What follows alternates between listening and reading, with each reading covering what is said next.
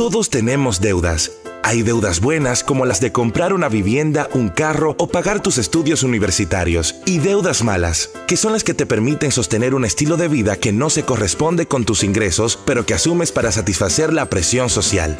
Las personas que tienen mala relación con el dinero y se sienten atrapadas por las deudas regularmente presentan síntomas como déficit de atención, estrés, ansiedad, baja productividad, conflictos, entre otros.